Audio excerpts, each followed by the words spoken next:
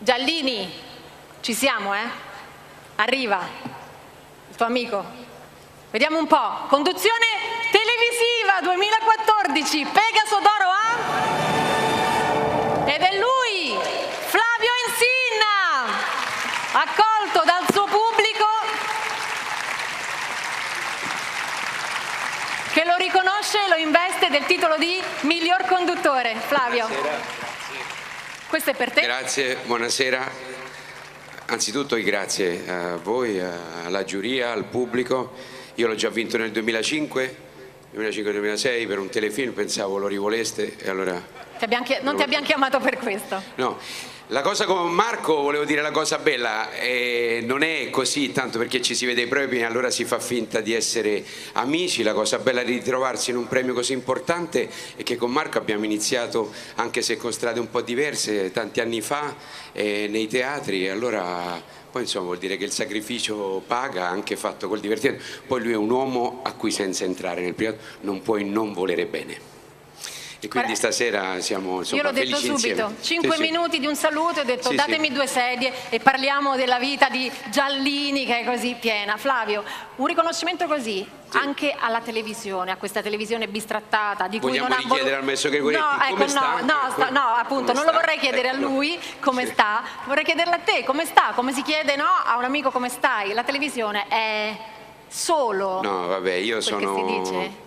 No, insomma, io cerco di farla da artigiano, insomma, quindi non è che posso l'oste non può dire come il vino, cerchiamo di farla bene. Io se vuoi ti posso dire le domande che accompagnano anche nel tragitto dall'albergo a qui, ma insomma, dovunque tu vada, se conduci affari tuoi, le tre domande. Vai. La prima, dottore, il gioco è truccato, vero?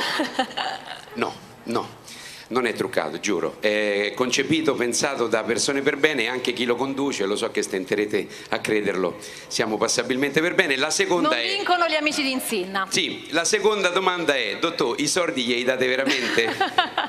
sono tassati, sono gettoni d'oro che vanno poi ritramutati in stanchi euro, magari dopo un anno ma arrivano, che siano 100.000, 500.000, un euro arrivano. La terza è, anche qua fuori dall'albergo, c'è a Flavie, mia cognata ha fatto la domanda quattro volte, non la fate giocare, non la chiamate mai, sottotesto giocano solo gli amici vostri. Allora, la risposta? Io, no, no, no, ma io lo dico per un'altra cosa, per un attimo non sono insomma, a livello del maestro dei capitani, insomma, degli altri intellettuali che sono saliti sul palco, però una cosa seria la dico. Queste domande sono frutto, purtroppo, sono, sono, colpa di chi ha umiliato, offeso e tradisce tutti i giorni questo paese. E allora gli italiani pensano che sia impossibile che in televisione, addirittura in televisione in Italia dice facciamo una cosa onesta, sì, la sorpresa è questa. E l'occasione meravigliosa è prendere un premio così, concepito, pensato, tenuto in vita da persone oneste. Secondo me dobbiamo riscoprire, ritrovare la voglia di pensare e poi di fare le cose onestamente e credere che in Italia si possono fare le cose onestamente. Grazie davvero con tutto il cuore. Grazie. Grazie. Grazie a Flavio Insinna.